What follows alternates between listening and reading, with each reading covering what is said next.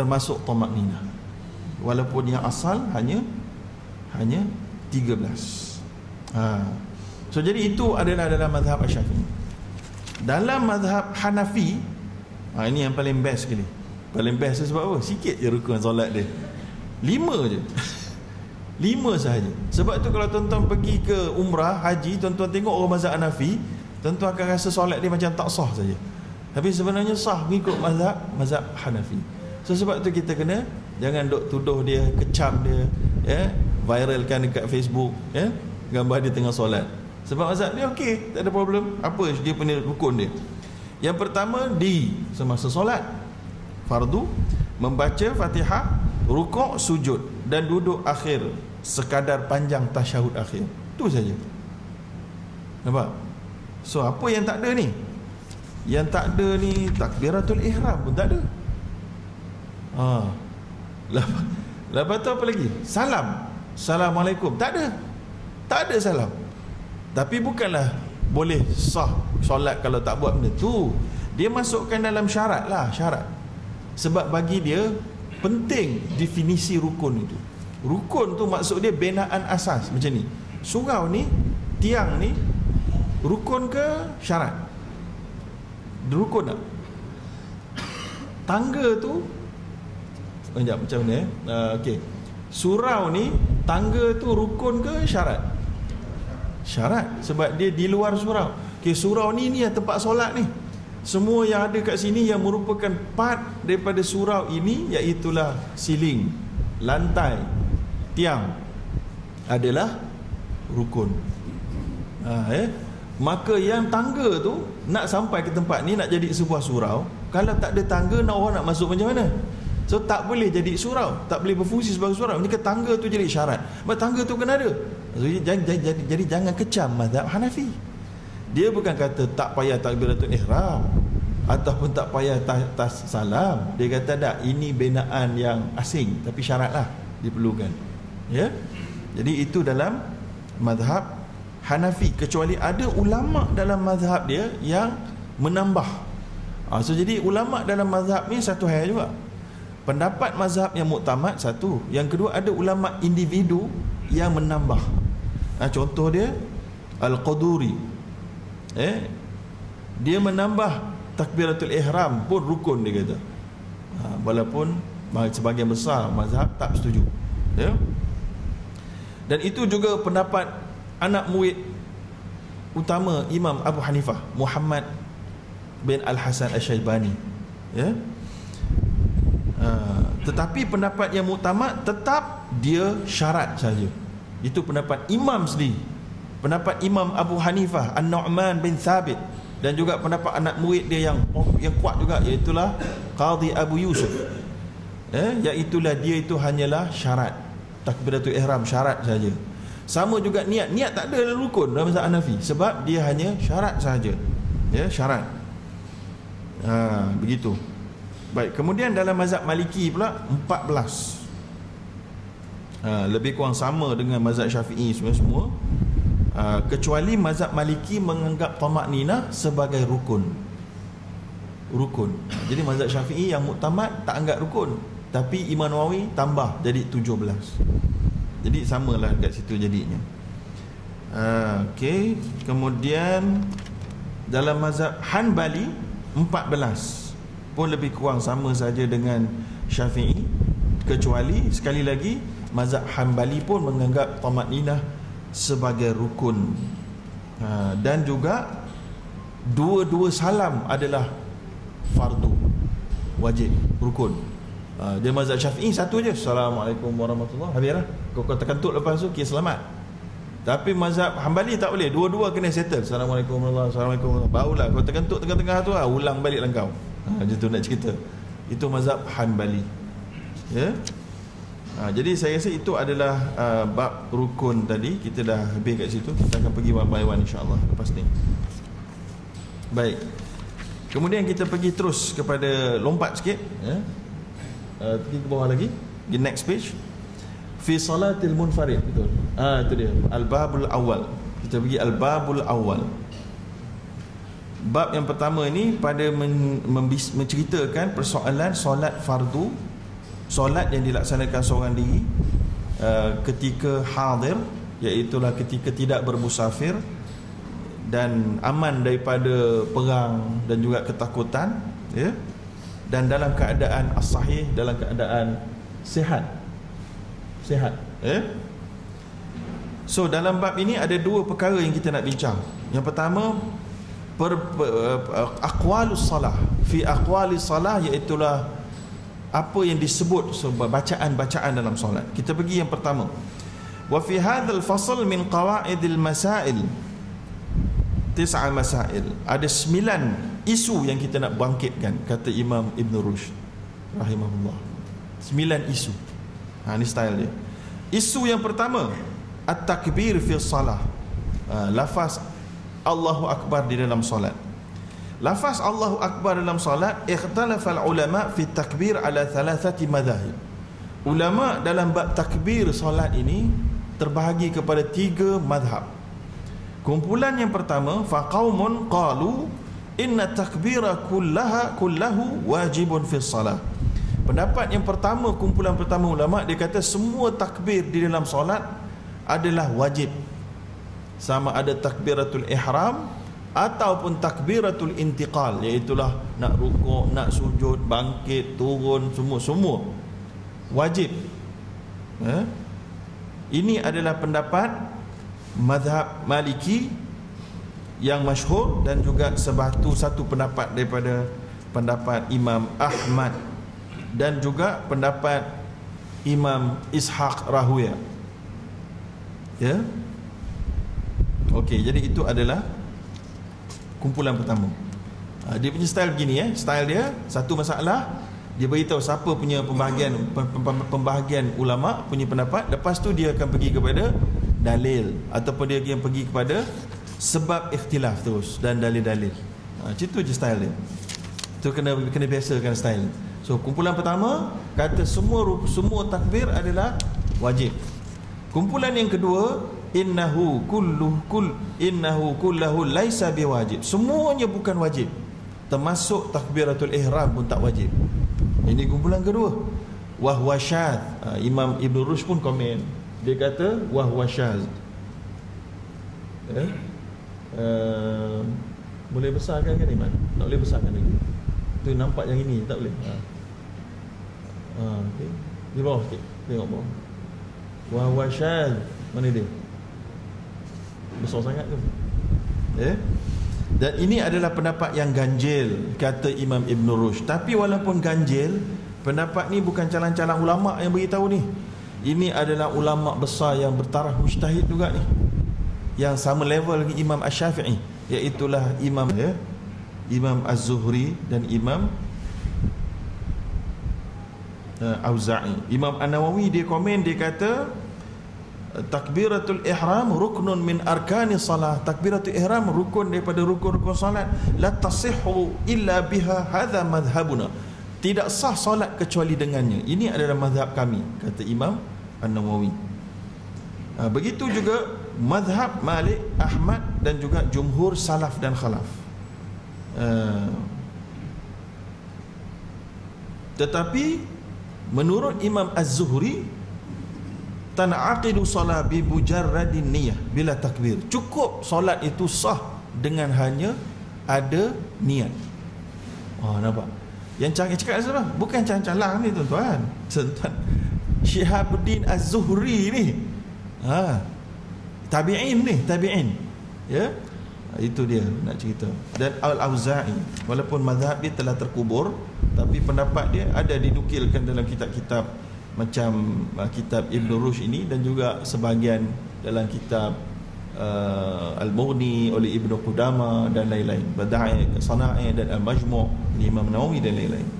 Itu pendapat yang kedua. Pendapat yang ketiga pula aujabu takbirat al-ihrami faqat.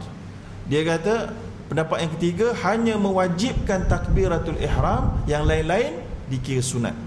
Siapa punya pendapat ni? Wahumul jumhur. Inilah dia pendapat majoriti ulama dan mazhab. Ya? Yeah? So dekat sini saja. Takbir saja tuan-tuan belajar Ini masalah yang pertama. Ada tiga kumpulan ulama yang Berautoriti. Ha, Bukan liberal punya ulama bukan wahabi bukan. Ulama yang bertaraf mujtahid sama level dengan Imam Asy-Syafi'i ha, tapi janganlah tuan-tuan mengada-ngada pula ya aku nak solat tak ada takbir lah hari ni. Sebab apa pula nak mengada-ngada tu?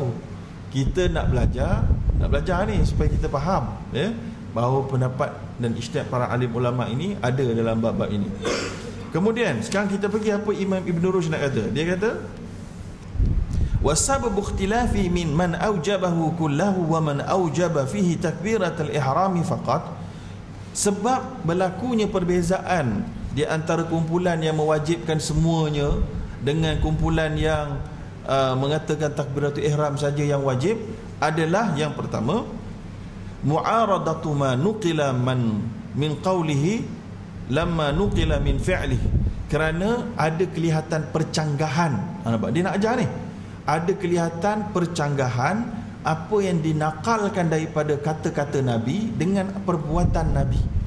Ha, nampak Nabi cakap begini tapi Nabi buat nampak begini. So nampak ada percanggahan, nampak tak sama. Ini menyebabkan ulama bila ada di dua depan mata mereka dua-dua hadis ini, mereka nampak eh lalu ada yang pegang yang ini mengatakan yang ini kuat lalu mereka pun anggap wajib semua. Eh, tak wajib semua. Ada yang mengatakan ini jadi wajib tabiatul ihram saja begitu baik kita pergi. Fa amma ma nuqila min qawlihi fa hadith Abi Hurairah al-masyhur apa pun yang, yang tadi kan percanggahan di antara apa yang Nabi cakap kan? Jadi yang ini. Nabi cakap dari adalah hadis Abi Hurairah yang masyhur iaitulah Nabi sedang mengajar seorang lelaki tentang solat. Nabi kata Iza aradta salah fa asbighil wudu thumma istaqbilil qiblah thumma kabbir thumma qra. Ha, dan panjang lagi. Ya? Hadis ini adalah hadis yang diriwayatkan oleh Al-Bukhari dan Muslim hadis yang sahih. Artinya apabila seorang kamu nak mendirikan solat maka hendaklah kamu mengambil wudu menyempurnakan wudu thumma istaqbilil qiblah kemudian menghadap qiblat thumma kabbir thumma qra kemudian hendaklah kamu kabbir takbiratul ihram. Kemudian apa? Baca. Baca apa? Baca Fatihah dan seumpamanya. So, dan mafhum daripada hadis ini adalah takbiratul ula, iaitu takbiratul ihram saja yang fardu. Eh? Kalaulah takbir-takbir lain pun yang masuk jadi wajib, Nabi akan sebutlah Ah, kemudian thumma kabir, thumma kabir, thumma kabir. Tapi tak, Nabi stop ke situ je. Thumma kabir, thumma qra. Nabi tak ada ulang balik kabir tu pada setiap tempat. Lalu ini menjadikan walau kana ma ada dhalik ni dia kata ni walau kana ma ada dhalik min takbiri fardan kalaulah takbiratul yang lain-lain takbiratul intiqal itu semua yang lain tu juga fardu. La zakarahu lahu pastinya baginda Nabi sallallahu alaihi wa alihi wasallam akan menyebutnya. Kama zakara sa'ira furudhi salat sebagaimana Nabi sebutkan secara spesifik setiap fardu-fardu solat yang lain. Tapi Nabi tak sebut pun tentang takbir yang lain. Kemudian itu hadis yang menjadikan jumhur pegang kuat. Jadinya lah jumhur mazhab termasuk mazhab syafi'i menganggap takbiratul ihram saja yang fardu yang wajib yang rukun yang lain tidak sunat saja yang lain tu. Adapun kumpulan yang berkata semuanya menjadi rukun adalah menjadi wajib adalah manuqila min fi'lihi sallallahu alaihi wasallam. Apa yang dinakalkan dinukilkan dipetik daripada perbuatan nabi. Daripada hadis Abi Hurairah juga. Nampak? Banyak hadis Abu Hurairah ya yang pertama tadi pun hadis Abu Hurairah yang kedua pun Abu Hurairah. Kerana itulah tuan-tuan ada orang orientalis yang membenci Islam ini mereka cuba untuk meruntuhkan Islam dengan meragukan tentang status Abu Hurairah. Uh, mereka kata Abu Hurairah ni sebenarnya tak fakir kemudian itu ini dia ni sebenarnya orang fakir miskin ahli sofa duduk kat masjid kan? Jadi ingatan tak kuat. Dia tulis dia punya hadis dia kalau buku hilang hilanglah ilmu dan macam lah so jadi orientalis ni cuba untuk meragukan tentang status Abu Hurairah dan adalah orang-orang kita zaman hari ni yang terima pendapat tu lalu mereka pun menolak sebahagian besar hadis kerana sebahagian besar hadis Abu Hurairah lah duk rawi periwayat ni. Pak, ni dua hadis yang kita bincang ni dua-dua Abu Hurairah radhiyallahu taala an. So hadis yang kedua ini Abu Hurairah kata annahu kana yusalli dia hadis ni tuan bukan Nabi cakap je. Tapi Nabi buat. Tapi Nabi buat macam mana nak dipendahkan pada kita? Caranya sahabat yang nampak tu cakap. Jadi bila sahabat yang nampak tu cakap dia nampak Nabi buat dia jadilah hadis Nabi. Kan? Jadi tuan-tuan jangan jangan jangan confuse. Ini, ini nak sahabat cakap bukan Nabi cakap.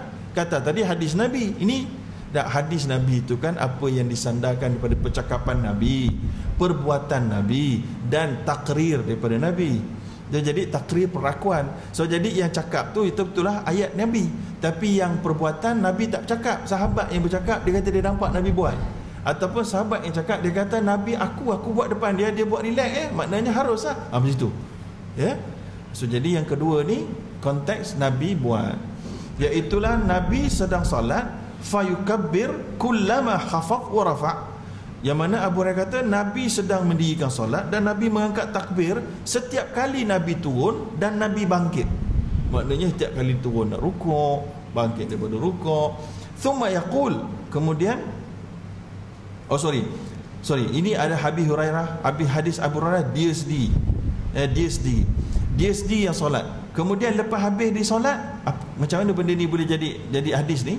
Bukan Abu Hurairah nampak Nabi, Abu Hurairah yang solat. Lepas dia habis ni dia pun kata pada perawi, "Inni la ashbahukum salatan bi salati Rasulillah sallallahu alaihi wasallam." Dia kata cara aku solat tadi tu adalah yang paling sama dengan Nabi solat. Ha, jadi itu yang jadi perbuatan Nabi itu. Walaupun bukan cerita Nabi nampak Nabi solat, tapi Abu Hurairah kata, "Kau nampak aku solat ni? Yang aku solat tu sebiji dengan Nabi solat." Ha, jadi dia dah dah kaitkan dengan baginda Nabi. So hadis ini juga hadis yang sahih riwayat Al-Bukhari dan Muslim. Ya. Uh, okey. Kemudian itu hadis yang pertama. Hadis yang kedua hadis Mutarrif bin Abdullah bin Syakhir. Dia berkata salaitu ana. Aku solat. Dia cerita pasal dia ni. Seorang sahabat ni. Aku solat wa Imran al-Husain dan Imran dan al-Husain khalfa Ali bin Abi Talib di belakang Ali bin Abi Talib radhiyallahu taala an. Fakana idza sajada kabar. Ali ni bila dia nak sujud dia angkat takbir. Bila wa idza rafa'a ra'sahu min ar-ruku' kabar. Bila dia bangkit daripada rukuk pun dia takbir. Falamma qadha salatahu wa sarafna dan bila mana habisnya solat dia dan kami pun bersurai akhadha Imran biyadi Imran Al-Husain pun ambil pegang tangan aku kata Mutarraf ni tadi eh sorry Mutarrif dia kata azakarani hadha salata Muhammadin Muhammad sallallahu alaihi wasallam Adakah engkau ingat inilah dia salat yang cara Nabi salat. Ya, hadis ini adalah hadis yang sahih Bukhari dan Muslim juga. Baik. So jadi dua hadis yang kita baca tadi tu nampak bercanggah tak dengan hadis yang pertama kita baca iaitu Nabi kata ajar satu je tapi Nabi tak sebut yang lain-lain. Tapi yang hadis ni pula Abu Hurairah solat dia kata solat dia dia angkat takbir masa turun masa bangkit dia kata macam solat Nabi. Yang ini juga yang Imran Al-Husain sebut. So jadi nampak macam ada kontradik lah. Bukan kontradik macam macam yang pertama tadi macam kurang. So jadi ini menyebabkan ulama dia deal dengan raw sources ni secara berbeza. Sumber yang berbeza ni. So fal qailuna kata Imam Ibn Rushd fal qailuna bi ijabihi ya maka orang-orang ulama yang berkata wajibnya tadi ni iaitu pendapat kumpulan pertama yang kita sebut tadi tamassaku bi hadzal amal al manqul fi hadhihi al ahadith maka mereka berpegang kepada dua hadis yang kita baca tadi tu dan mereka menganggap bahawa ini adalah semuanya wajib. Apa berdasarkan kepada kepahaman mereka dan dia ambil hadis tu dia kata nampak dia, dia Nabi buat gini sahabat ni dua orang ni kata ni hadis pula dua-dua kuat ni. Ha, ini wajib lah maknanya. Dua-dua ni nampaknya konsisten bukan kata yang ini kata ini kata tak konsisten ya? Dan mereka berkata al aslu antakuna an takuna kull af'alihi allati atat bayanan liwajib mahmulatan 'ala al-wujub kama qala sallallahu alaihi wasallam kama ra'aytumuni usalli wa khudhu 'anni masaki masa masa masa manasikakum. Ya. Dia kata kumpulan ulama yang pertama kata sebab berdasarkan kepada kaedahnya al-aslu asal dalam kita uh, menangani dalil-dalil ini adalah setiap perbuatan yang nabi buat menditunjukkan kepada sahabat yang atas bayanan adalah membawa membawa satu penerangan benda wajib. Jadi bila sahabat nampak Nabi buat solat gitu maknanya dia wajib lah. Sebab Nabi kan kata dirikan solat macam kamu nampak aku solat. Ha, itulah hadis hadisnya dan Nabi pun kata khudhu anni manasikakum. Ambillah daripada aku cara kamu beribadah. Lalu bila sahabat ni dia kata aku nampak Nabi solat itu aku buat ini. So jadinya hukum asal dia ini adalah membawa ihtimal membawa kemungkinan besar hukumnya wajib sebab Nabi dah kata awal Salu dirikan satu perintah Salu kama ra'aitumuni usalli ha, Saya harap tuan-tuan boleh faham lah. Ini payah nak bagi faham pada orang awam ni kan? Ha, tapi saya cuba sedaya upaya lah ya. Waqalat Waqalatil firqatul ula Dan berkata pula ke perkumpulan yang mengatakan bahawa takbiratul ihram saja wajib Iaitulah kumpulan jumhur Ya Annal amala inda sahabah Ma kana ala itmami takbir Dia kata yang sahabat buat tu hanya adalah penyempurnaan. Itu yang paling sempurna tapi tak bermaksud semua tu wajib. Yang wajib tadi ni yang takbir tu ihram je yang lain tu sunat. Sebab tu kita letak sunat tak sampai tahap wajib. Ya? Dia kata itu itmam. Sebab apa? Sebab apa? Dia tak kata-kata pernah pandainya sebab ada hadis lain yang menunjukkan bahawa nabi pernah tidak menyempurnakan takbir dalam semua bangkit dan turun ni ini menunjukkan macam mana kita kata wajib. Kalau kita kata wajib tadi, maka Nabi pernah solat dalam satu hadis antaranya hadis-hadis yang lain. Contohnya, ya. Uh,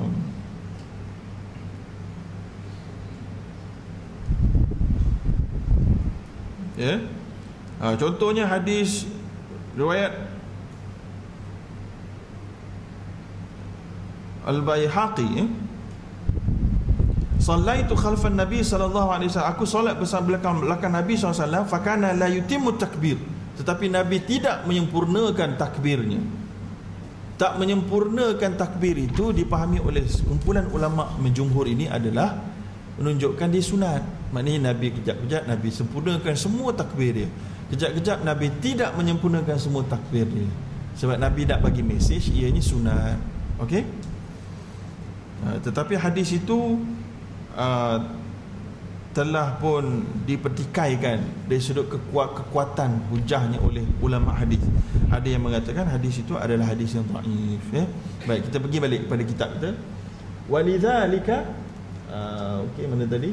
Okey, walidzalika kana Abu Hurairah yaqul oleh kerana itulah Abu Hurairah kata inni la ashbahakum bi salati Rasulillah eh? dan juga waqala Imran kerana ini nak menyebutkan Nabi solat dalam keadaan Nabi menyempurnakan. Tapi minimum requirement dia bukan itu. Minimum requirement adalah rukun yang Nabi ajar tadi pada seorang lelaki tadi. So jadi bila Nabi ajar begini tapi Nabi buat lain. Maknanya yang Nabi buat tu yang full version perfect perfection punya perfect punya version. Macam pun yang sunat tapi yang minimum requirement yang kita nak tahu tadi kata ulama jumhur yang minimum maknanya rukun dia takbiratul ihram saja. Yang lain tu tak masuk. Wa amma man ja'ala takbir kullahu nafalan. Ha, tetapi ada juga yang menjadikan semua takbir ini sunat belaka. Tak ada satu pun fardu. Ada juga. Iaitu kumpulan ulama yang kedua tadi yang bukan calang-calang juga tadi yang kita katakan. Siapa dia tadi? Kumpulan ulama yang kedua tadi iaitulah Auza'i dan uh, Zuhri eh? Apa apa pula hujah mereka? Hujah mereka wala'alla fadha'if. Tetapi pendapat ni dhaif tu Ibn Rushd menganggap pendapat ulama yang besar sebelumnya sebagai dhaif. Nampak? Ada tak dia menghina ulama sebelum dia? Tak. Tidak menghina. Yeah?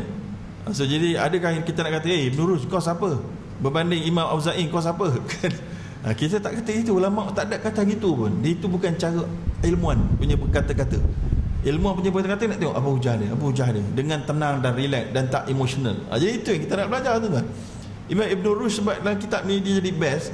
Sebab tuan-tuan dia dengan terus terang dan telus tanpa emotional tapi ilmiah dia kata pendapat tu daif lah. Pendapat dia. Ibn Ibn Rushd telah memberikan pendapat dia. Dia kata pendapat ya Auza'i dengan Az-Zuhri tu lemah malah dia pun sendiri sebenarnya dia pun kata wala'allahu apa sebab dia lemah ni? Apa sebab mereka berpendapat begitu? Sebenarnya Imam Abdul Rush pun nampak kelihatan dia pun nampak macam tak berapa confident dengan hujah kumpulan ulama yang kedua ni. Dia pun kata wala'allahu kemungkinan agak-agaknya lah kot. Ha, macam itulah seolah bunyi wala'allahu tu. Qasahu ala sairil azkari lati fi salah mimma laysat biwajibah mungkin agaknya mereka tu menganggap ianya sunat kerana mereka mengkiaskan menganalogikan takbir semua takbir-takbir ini dengan semua zikir-zikir yang dibaca dalam solat. Dan subhanallah subhanallah subhanallah bihamdi ke eh, subhanallah alazim ke eh uh, jadi itu semua rabbil a'la. Ini semuanya sunat. So jadi dia kiaskan. Takbir tadi pun dikira macam zikir juga. So semuanya sunat. Uh, maka sebab tu dia tak wajib au ataupun kata Imam Ibn Rushd qasa takbiratul ihram ala sa'ir takbiran ataupun kalau dia tak kiaskan takbiratul ihram dan lain-lain kepada zikir-zikir yang dalam solat dia mungkin kiaskan takbiratul ihram kepada takbir intiqal. Takbir intiqal tu lah takbir perpindahan tu lah ya? Ha, so jadi ini menjadikan mereka menganggap ia sunat sahaja. Ha, kemudian waqala Abu Umar Ibn Abdul Bar. Ha, kemudian kita boleh tengok bahawa Ibn Ibn Rushd ni banyak ambil pendapat Imam Ibn Abdul Bar yang bermazhab Maliki. Dia pun kata tarjih dalam dia memberikan pendapat yang bagi dia terkukuh dia kata berkatalah Imam Ibn Abdul Bar wa mimma yu'ayyidu madhhabul jumhur yang menyokong pendapat jumhur iaitu takbiratul ihram saja wajib yang lain adalah sunat. Marawahu syu'bah bin al-hajjaj anil hasan bin amran daripada Abdul Rahman Abdullah bin Abdul Rahman al-az al-abza daripada anaknya berkata aku telah solat bersama Nabi falam yutimma takbir dan Nabi tidak menyempurnakan takbir. Menyempurna maknanya macam saya sebut tadi lah tidak takbir pada setiap tempat. Yang kedua daripada Hasan bin Ali bin Imran sallaitu ma'a Umar bin Abdul Aziz aku bersolat bersama Umar bin Abdul Aziz dan Umar Abdul Aziz juga tidak menyempurnakan semua takbirnya. Ya? Uh, tidak menyempurnakan takbirnya.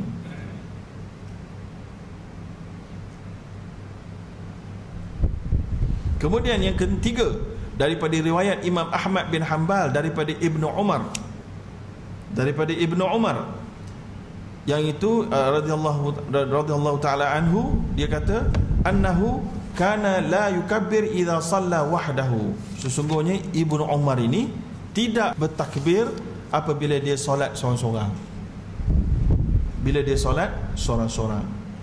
Membawa erti di sebaliknya solat berjemaah saja dia dia takbir.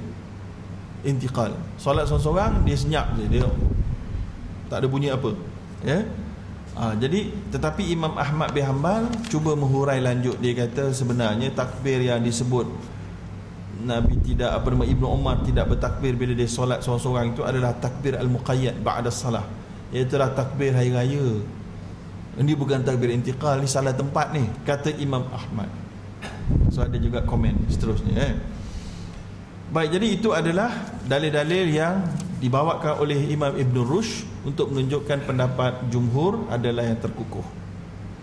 Wa ka'anna haula ra'au anna takbir inma huwa li makanin isy'aril imam lil ma'mumin bi qiyami wa qu'udihi uh, wa yushabbih an yakuna li hadha dhahaba man ra'ahu kulluhu naflan ha, maka dia juga menganggap bahawa dia kata kemungkinan orang-orang yang menganggap takbir sunat saja ini adalah kerana dia anggap takbir tu hanya pada tempat isyar untuk pemberitahuan imam kepada makmum tentang perubahan satu pergerakan kepada pergerakan solat yang lain daripada terukuk nak turun sujud daripada seumpamanya lah eh, nak turun eh, pergi tidal dan seumpamanya habis jadi itu adalah perbincangan pertama tentang takbir di dalam solat ha. Habis dekat situ. Kemudian kita masuk isu yang kedua. Isu yang kedua al-mas'alatu tsaniyah. Isu yang kedua ni cerita apa? Cerita lafaz takbir yang sah. Okey. So ada lafaz takbir yang tak sah. So kita nak belajar takbir takbir yang sah ni macam mana? Qala Malik berkatalah Imam Malik dan sebenarnya Imam Ahmad juga la yujzi min lafaz takbir illa Allahu akbar. Tidak akan diterima mana-mana lafaz takbir kecuali lafaz Allahu akbar sahaja. Ya itulah juga pendapat Imam Asy-Syafi'i sendiri. Ya maknanya lafaz Allahu akbar. Uh, tetapi nombor dua dekat sini Imam Asy-Syafi'i juga dinukilkan berkata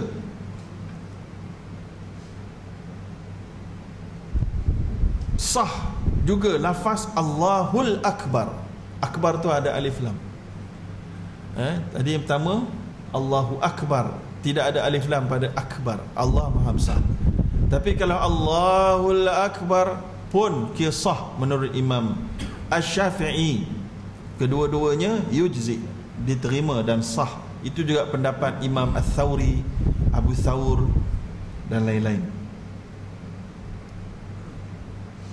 dan hujah Imam Ash-Syafi'i sebab apa alif lam itu kalau ada pun tak tak rosak lafaz takbir? Kerana Imam Ash-Syafi'i berpendapat bahawa alif lam itu punya kewujudan tidak mengubah apa-apa makna eh? Dan uh, tidak uh, tak mengubah apa-apa makna. Semuanya tepat lagi. So oleh kerana itu dia tidak tidak mengganggu ya hmm.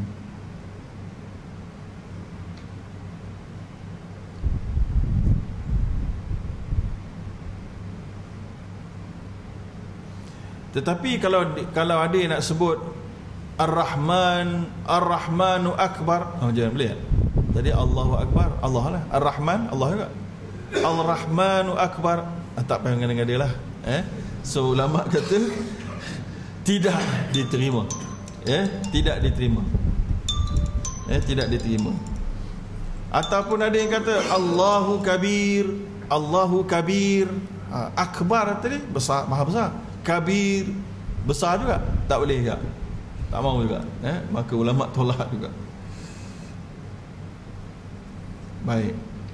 Kemudian yang ketiga, Imam Abu Hanifah pula kata yujzi man lafaz at-takbir kulla lafzin fi ma'nah boleh kalau apa saja lafaz takbir yang membawa makna dia yang dekat contohnya Allahul A'zam oh jadi kadang-kadang rasa jemu dah sebut Allah Akbar kot? Allahul A'zam. Peranjat makmum belakang.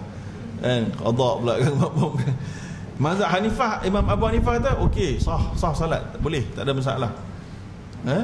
Ataupun Allahul Ajal pun boleh juga. Eh? Kata mazhab Abu Hanifah. Okey. So kita boleh lihat kat sini kelihatan jumhur berbeza dengan Imam Abu Hanifah. Sebab ikhtilaf kata Imam Ibn Rushd wa sabab ikhtilafihim hal al-lafz huwa al-muta'abbad bihi fil iftitah awil makna mereka khilaf berbeza pendapat. Dalam menentukan yang wajib tadi ni adalah lafaz itu in specific ataupun makna sahaja. Ha, jadi kalau kalau mazhab Imam Abu Hanifah ni kena tuduh bid'ah lah ni. Eh, kena tuduh buat bid'ah ni. Nabi tak buat pun Allahul Azam ni dia boleh lah ni bid'ah betul ya mazhab Abu Hanifah ni. Eh, ha, kalau kena ni. Eh. Tapi nak ceritanya sebab dia ada sebab dia ada takwil dia. Memanglah dalam hadis sebut Nabi sebut uh, Allahu Akbar dan seumpamanya tapi itu contoh ke ataupun hanya satu-satunya? Uh, ataupun itu contoh yang Nabi buat. Bila contoh maknanya apa-apa saja yang makna macam ini boleh. Imam Abu Hanifah pegang gitu. Tapi tiga jumhur, jumhur punya mazhab kata, tak, yang boleh ni satu tu je, Allahu Akbar sahaja atau Allahul Akbar. Eh? wa qad istadal malikiyun wa syafi'iyun ha biqaulihi telah berdalil mazhab maliki yang mengatakan mesti Allah Akbar saja dan syafi'i kenapa hanbal hanabili hana hanabilah tak ada sini hanbaliyun selalu dalam kitab bidayatul mujtahid ini telah digugurkan pendapat Imam Ahmad kerana pada tahun tersebut tahun 500 hijrah masa itu mazhab Ahmad mazhab, Hambali masih dalam proses yang terlalu banyak pendapat. Ya, jadi Imam Ahmad bin Hanbal ni dia punya pendapat dia banyak sangat. Kejap okey kejap dah okey kejap okey kejap tak okey. So jadi orang ulama yang perlu mengumpulkan itu susah sampai nak jadi satu mazhab sebab tu kalau pergi dalam belajar dalam perbandingan ni pendapat Imam Ahmad ni ada dekat setiap tempat. Uh, pendapat Imam Ahmad dalam satu pendapat dia. Ini pun ada juga pendapat Imam Ahmad dalam satu tempat. Jadi ada banyak. Sebab tu digugurkan pendapat Imam Ahmad. Jadi saya tolong baca kan kalau ada yang saya cek ada kita akan sebut lah ya? Uh, macam contohnya dalam bab ni lah eh, Imam Mazhab Maliki dan Mazhab Syafi'i punya dalil bahawa lafaz Allahu Akbar sahaja yang patutnya boleh berdalilkan kepada hadis Nabi miftahu salat at-tuhur wa tahrimuha takbir wa tahliluha taslim iaitulah kunci kepada salat adalah bersuci iaitulah wuduk dan kemudian wa tahrimuha takbir tahrim tu maksud apa? Macam kita ihram lah berihram untuk pergi haji. Kita start je masuk nak masuk je ibadat haji ni kita niat ihram dan berihram jadi pada kita start berihram kita tak boleh buat macam-macam. Ada rules and regulation dia kan. Sama macam solat. Solat pun contohnya macam ada ihram dia. Ihram dia start bila iaitu lafaz Allahu Akbar. Sebab tu wa tahrimuha takbir. Wa tahliluha dan penyuraian. Maknanya ada tahallul. Macam kita haji ada umrah ada tahallul. Macam masa-masa maknanya masa masa solat tu tak boleh bercakap. Masa solat tak boleh makan, tak boleh minum, tak boleh. Sebab tengah ihram. Ya, tak boleh menyapa orang, ya. Eh, maka dalam solat ada ihram dia dan ketika nak tahallul menyurai daripada ihram itu adalah at-taslim. Ini ada daripada hadis Nabi uh, yang diriwayatkan oleh Imam Ahmad dan Abu Daud dan uh, Tirmizi dan Ibnu Majah dan Imam Tirmizi kata hadis ini adalah innahu as-sahhu fi hadzal bab. Ini adalah innahu as-sahha syai'in fi hadzal bab. Ini adalah hadis yang paling sah, paling sahih dalam bab ini. Ya. Baik kemudian uh, waqalu al alif wal lam ha huna lil hasr. Kemudian imam ibnu rushd kata bila nabi sebut wa tahrimuha takbir tahrimuha iaitu dan masuk ihram dalam solat ini at takbir ada alif lam. Ha, ini kena belajar bahasa Arab lah tuan-tuan dia bukan wa tahrimuha takbirun. Tak ada. Dia at-takbir. Ada alif lam. Kan? Ha, bukan al-takbir. Ha. kan? Saya kadang dengar radio Hakim kan? Dia punya DJ tu disebut alif lam syamsiah dengan alif lam qamariyah pun tak lepas lagi kan? Jadi kita dengar tu geli sikit rasa kan? Macam ni lah. At-takbir. Dia alif lam syamsiah. So jadi dia kena masuk lah lam tu tak bunyi lah bunyi. At-takbir. Tapi ada yang tak belajar bahasa Arab. Biasanya dia akan sebut al-takbir. Oi geli dengar tuan-tuan. Tapi nak buat macam mana kan? Uh, jadi kena ajar lah sikit. Uh, tak susah apa benda. Taklah berdosa besar. Tak tak berdosa. Tapi maknanya benda yang tak betul kita betulkan lah kan? Eh, dia kena biasa kan orang tak belajar bahasa Arab macam tu. So jadi at-takbir. Ada alif lam tu. Bila ada alif lam tu ada maksud alif lam ni. Alif lam ni boleh bawa masuk macam-macam. Alif lam mak makrifah ni eh? Dia boleh bawa masuk al-hasri iaitu dia khususkan tak boleh masuk yang lain. Ya kadang-kadang dia istighraq dalam al-istighraqiyah istighraq. Ya dia ngerangkum semua sekali. Macam-macam tengok tempat dia. So dekat sini alif lam ni kata Imam Ibn Rushd bermaksud al-hasr iaitu dia menspesifikkan me, apa nama telah menapis. Yang ini saja. Maknanya tak boleh pandai-pandai nak macam Allahu Jalil ke? Tak boleh lah. Eh? At-takbir ini takbir yang Nabi tunjuk bukan takbir yang Nabi tak tunjuk. Kata Imam Ibn Rushd menyokong pendapat mazhab jumhur yang menyatakan boleh Allahu Akbar saja. Wal hasr yadullu ala anna al hukmal ala hukma khasun bil mantuq bih ha, ini adalah usul ni. Al mantuq. Mantuq ni maksudnya mantuq ni yang dinyatakan secara lafaz at takbir yang dinyatakan secara lafaz dalam hadis nabawi adalah Allahu Akbar. Jadi yang yang apa nama tu uh, mafhum mafhum ni yang tak dinyatakan iaitu Allahu Jalil seumpamanya tak boleh pakai sebagai hujah. Tak boleh buat. Eh wa annahu la yajuzu bi ghairi. Maka kan itu tidak bolehlah disebut secara lain. Kalau dah dalam bab ibadat sudah dimantuk sudah disebut dengan jelas uh, satu spesifik dan kemudian dikhususkan pula maka kita tak boleh buat yang lain. Itu pendapat jumhur. Walaisa yuwafiquhum Abu Hanifah. Tapi Imam Abu Hanifah tak bersetuju dengan mereka. Macam dia Uh, bukanlah Imam Abu Hanifah tak bersetuju mereka. Imam Abu Hanifah datang sebelum mereka lagi macam tak bersetuju dengan mereka kan?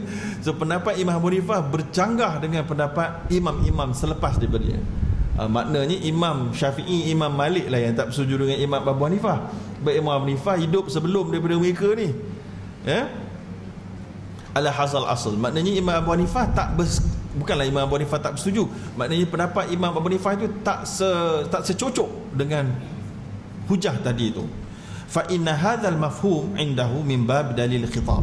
Kemudian kan dikatakan apa? Kerana mafhum mafhum ni benda yang tersirat bila nabi kata Allahu akbar nabi bagi contoh. Maknanya yang tersirat apa saja yang bawa makna yang sama boleh kita mulakan solat dengannya. Ha, itu yang Imam Abu Hanifah faham. Ha, sebab Imam Abu Hanifah ni dia dia digelar sahibul ra'i iaitulah uh, ulama yang hebat dalam pemikiran dan logik. Sebab tu dia pakai logik ya min bab bidalil khitab. Maka dia boleh wahwa an yuhkam bil lil maskuti anhu bidd hukm al mantuq. Wa dalil khitab inda abi hanifah ghair al ma'mul ghair ma'mul bi. Baik maka dekat sini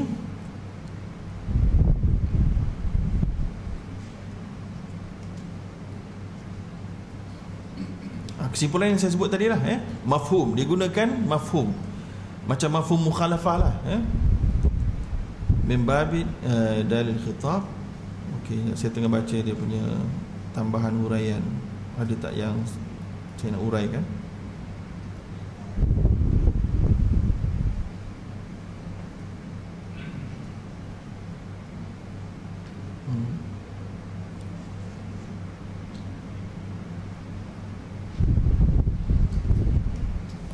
Okey.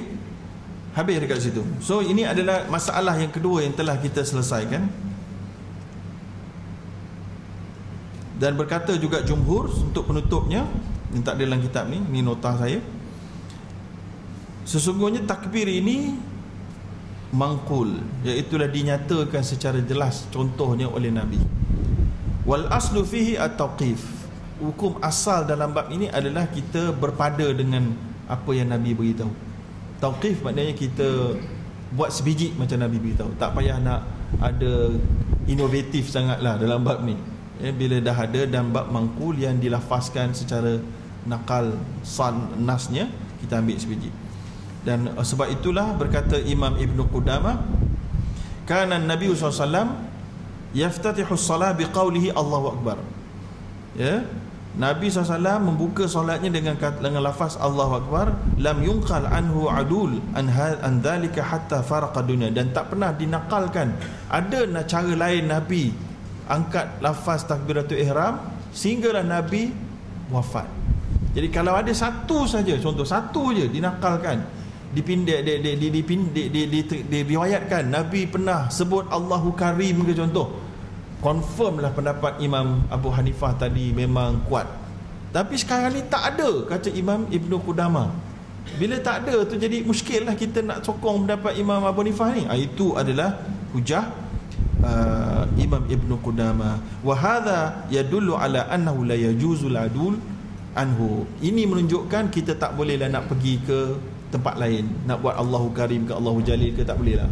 Kata Imam Ibn Qudama menyokong pendapat jumhur yang dia pun bermazhab Hambali. Ya. Habis masalah yang kedua. Uh, so jadi kita habis yang kedua dah pukul 11.20. Kita start pukul 10. Betulnya dah habis ni. So saya nak masuk sikit saja. Lafaz Allah Akbar yang tak ada dalam kitab ni saya nak saja nak bagi tambah. Lafaz Allah Akbar telah dinyatakan oleh Ibnu Qudama mestilah tak boleh panjang pada A dan tak boleh panjang pada bar.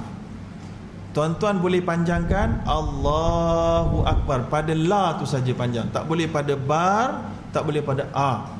Contohnya memang betul Nabi SAW telah dinyatakan oleh mazhab uh, oleh jumhur semasa perpindahan itu semasa takbiratul ihram satu kan Allahu Akbar. Yang kedua masa Nabi rukuk kan Allahu Akbar. Ulama bincang, boleh tak kita bila waktu Allah Akbar sunat tu nak dilafazkan? Masa kita tengah berdiri nak rukuk ke atau masa kita sudah bergerak kepada rukuk? Maka di sini ada dua pendapat ulama. Satu ulama yang agak keras. Mereka kata tak boleh kita ustaz ucap Allahu Akbar masa nak rukuk tu sewaktu kita berdiri tegak. Faham tak? masa tengah berdiri tegak ni nak rukuk ni? Dah habis baca Allahu Akbar. Baru nak bergerak. Tak boleh. Kalau buat tu salah Kata ulama kumpulan pertama. Kenapa? Kerana dalam hadis Nabawi Menunjukkan bahawa Nabi Bergerak Masa bergerak tu Nabi Ungkapkan. Sebab bacaan Allahu Akbar itu adalah Sewaktu bergerak. Semasa nak bergerak kepada inhina Iaitulah tunduk. Bukan sebab tu berdiri Kalau waktu berdiri Kita tak kena pada sunat tadi tu dan kita telah menambah bacaan sewaktu berdiri. Patutnya bacaan sewaktu berdiri apa? Fatihah dengan surah surah je. Bukan ada ayat, ayat takbir lagi dah. Takbir itu adalah sewaktu perpindahan daripada berdiri kepada rukuk. Itu kumpulan yang pertama. Ha, so jadi kalau tuan-tuan nak play safe kita semua nak play safe kita hendaklah jangan tengah berdiri tegak tengah takbir. Atau tengah rukuk. Tengah rukuk ni eh? Sami Allahu liman hamidah. Tengah rukuk tak bergerak eh. dia bergerak baru baca. Dah berdiri iktidal nak rukuk eh apa nak sujud? Allahu akbar. Baru nak rukuk ataupun dah sujud dah. Setengah imam dia dah rukuk dah. Senyap dia. Allahu akbar. Kan? Kita sebab apa? Lambat sangat. Sebab kalau saya cepat nanti ada makmum melebihi melajui saya. Lebih laju daripada saya jadi supaya makmum ni tetap jadi makmum Saya dah rukuk baru baca. Salah kata ulama kumpulan yang pertama. Salah. Ha, eh? So jadi pendapat itu juga Disebutkan oleh Imam An-Nawawi Dalam madhab Asyafi'i eh, Contohnya dalam kitab Al-Adhkar Imam An-Nawawi sebut bahawa Bacaan ni Tidaklah sewaktu pergerakan itu. Eh? Tetapi dalam madhab Asyafi'i Tidaklah dinyatakan dengan sangat tegas Bahawa berlaku kesalahan yang boleh merosakkan salat kalau kita dah rukuk baru nak baca. Tapi nak play safe supaya tak langgar mana-mana ijtihad ulama kita bacalah sewaktu bergerak tadi. Nak rukuk nak sujud masa bergerak sahaja. Ha, sewaktu perpindahan sahaja. Ya? Baik jadi itu yang itu itu yang pertama. Yang kedua tadi bila kita ucapkan sewaktu perpindahan masa perpindahan kita tu daripada daripada sujud daripada berdiri tu nak sujud kan jauh kan Kan jauh tu. Jadi disunatkan dalam mazhab Asyafi'i Untuk kita maintain lafaz itu Sepanjang perjalanan nak sampai ke bawah tu. Sujud je stop. Letak je kepala kat bumi Stop. Ataupun siapa-siapa pegang tangan dulu ke Tak bumi lutut dulu Stop stop terus. Eh? Sepanjang perjalanan tu. Kata Imam An-Nawawi Sunat hukumnya untuk memanjangkan. Tapi nak panjang dekat mana? Panjangkan pada la sahaja Allahu Akbar. Jangan pada A sebab kata Imam Ibn Qudama Kalau panjang pada A Maknanya kita sudah mengubah makna Allah Maha Besar kepada Adakah Allah Maha Besar. Itu satu perubahan yang bahaya. Adakah? Mempersoalkan pula dah kan? Dan kalau panjang pada bar Kita sudah mengubah maksud Allah Maha Besar kepada Allah itu gendang-gendang. Apa lagi teruk yang pertama tadi ada satu persoalan, yang kedua ni jadi satu satu uh, maksud yang berubah, yang rosak lagi. Ya. Baik, jadi itu adalah lafaz takbir al-ihram. Dan kemudian saya nak tambah sikit lagi supaya melengkapi perbincangan. Masa lafaz takbiratul ihram, masa itulah niat kena masuk. Ayat kau tuan-tuan tanya bilakah waktu niat? Waktu niat adalah waktu lafaz takbiratul ihram. Habis yang usalli tu Itu adalah Saya rasa beritahu Itu adalah testing 1, 2, 3 Untuk supaya hati kita Boleh fokus. Supaya tak fikir pasal lauk pauk Durian musangking Semua tak fikir pasal tu. Tapi fikir pasal solat zuhur ni.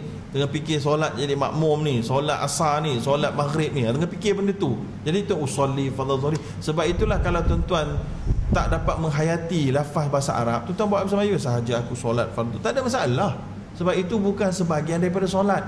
Itu adalah pre pre solat, sebelum solat. Sebab itulah saya, tuan-tuan, saya cuba untuk bersikap adil.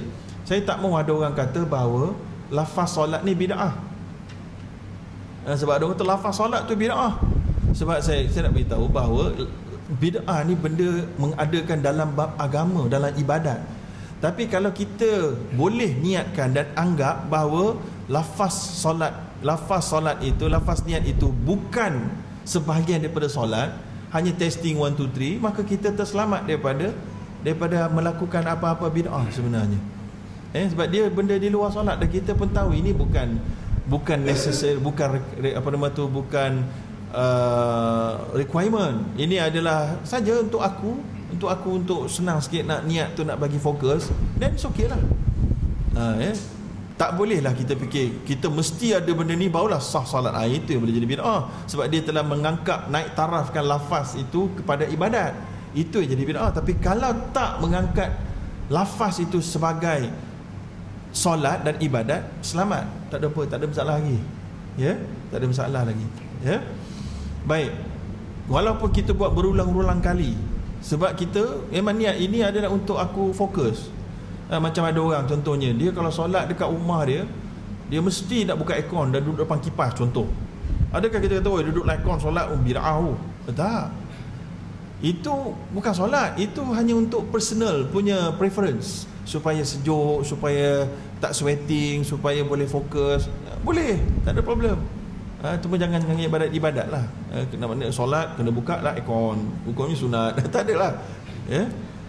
Baik jadi apa tadi sebut? Uh, niat tu lafaz niat tu bukan ibadat. Dia hanyalah kata Imam Nawawi dalam kitab Radhatul Talibin ya? Dan dia hanyalah permulaan saja.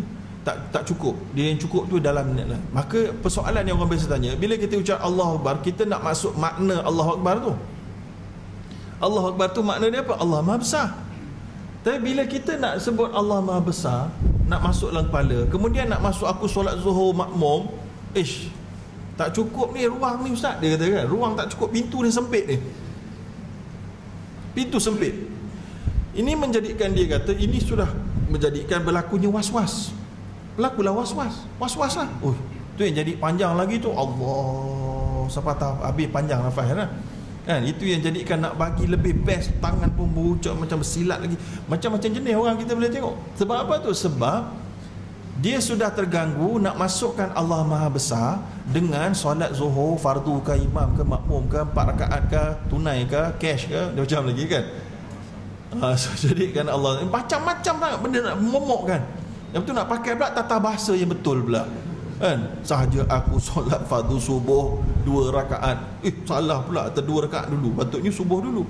Padahal tak menjadi keperluan pun. Kalau tuan-tuan yang pertama sekali Kalau tuan-tuan nak tahu Mana satu yang nak masuk dulu? Pintu mana? Allah Maha Besar ke? Niat dulu.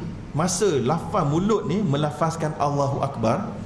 Tuan-tuan nak masuk niat dulu ke Masuk Allah Maha Besar dulu? Kalau nak bagi jawapan jugalah Tuan-tuan masuk niat dulu. Abaikan dahulu Pemikiran kepada Allah Maha Besar tu. Sebab Kalau tuan-tuan Berjaya masuk Allah Maha Besar Tanpa berjaya masuk niat lafaz Allah Akbar tu tak jadi takbiratul ihram. Dia hanya jadi zikir. Dia syarat dia nak jadi takbiratul ihram dia adalah permulaan solat. Tentu kena niat. Sebab tu masa Allah Akbar tu niat tu kalau nak bagi katalah mana yang dia sudah order masuk dulu niat dulu. Tapi niat tu jangan yang panjang sangat tu. Bertatah bahasa zaman Piramli pula lagi kan.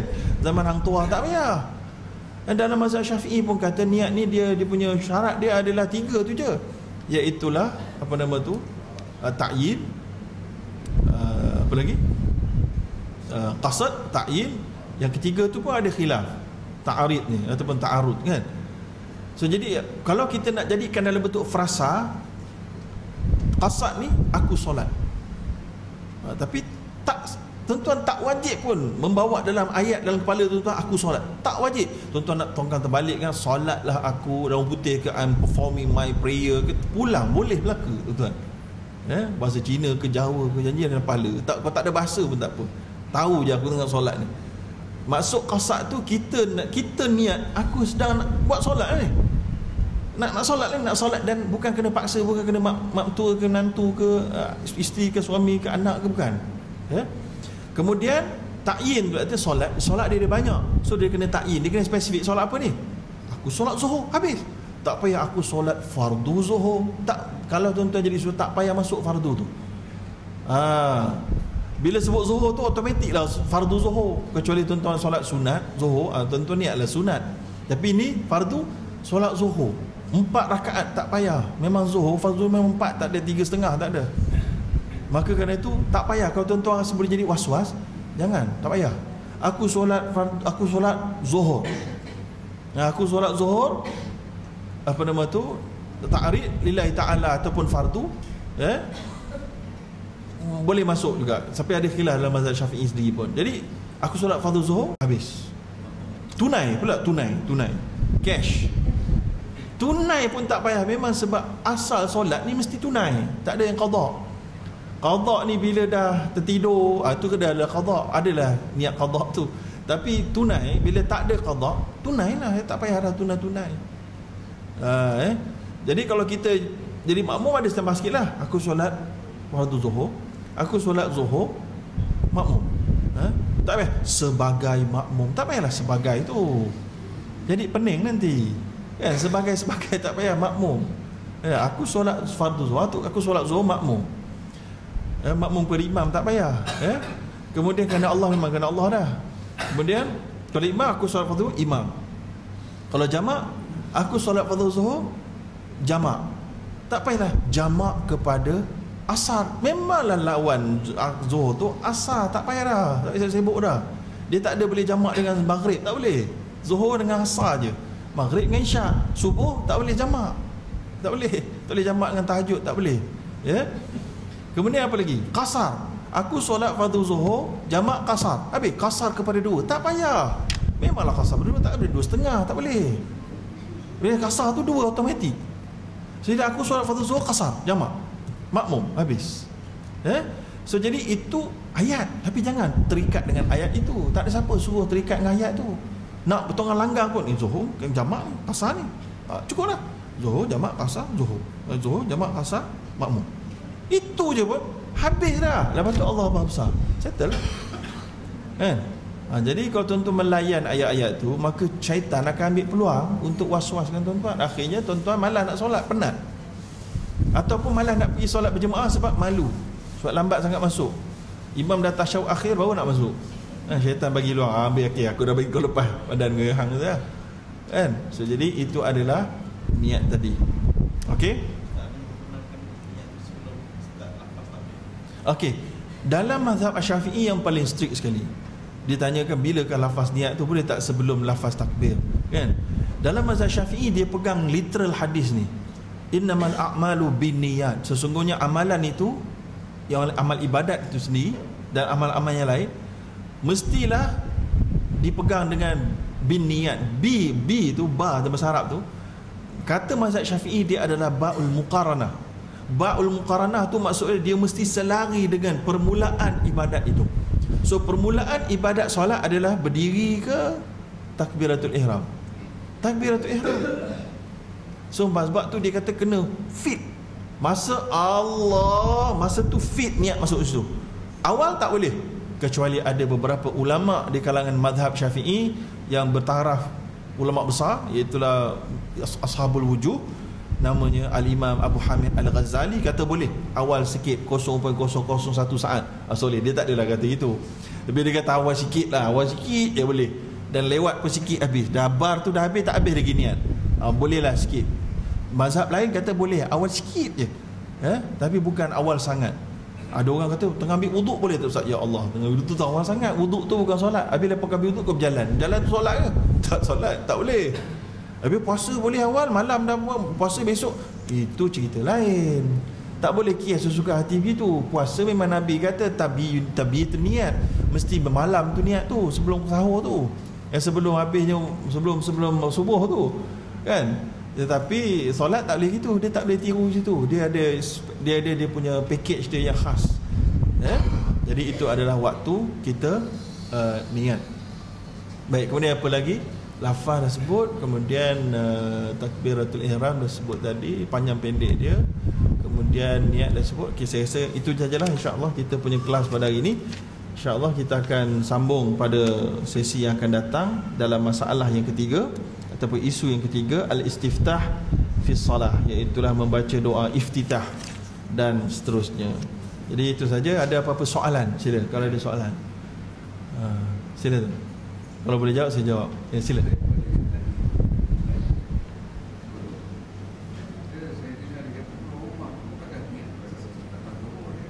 Ah, okay keluar, keluar rumah tu pun dah niat solat zuhurat memanglah itu bukan niat lagi. Itu niat bukan solat. Yang kita sebut ni niat solat bermula dengan amal dia. Niat dan keluar rumah nak solat zuhur tu yang itu pra niat. Macam lafaz usalli ha, itu boleh. Itu tapi itu tak mencukupi untuk permulaan ibadah itu. Okey? Ada lagi soalan lain? Sila. Makmum? Makmum baca niat? Niat sebagai makmum dan imam tak payah? Uh, yang itu ada pendapat betul. Uh, itu kita akan baca bila sampai waktunya nanti. Ada dekat sini ya? Uh, malah bukan saja itu nanti kita akan baca dalam kitab ni apakah yang makmum boleh bertenggek di atas imam? Bukan hanya bab yang macam tadi tu tapi Fatihah pun tak payah. Sebab tu imam dah tolong baca. Eh sebab dalam hadis Nabi Sahih Bukhari innama ju'ila al-imam liyutama bihi. Dijadikan imam untuk di, di diambil imam untuk diikut. So dia dah kita ikut dia baca tu mewakili kita. Terima kasih imam. Kan?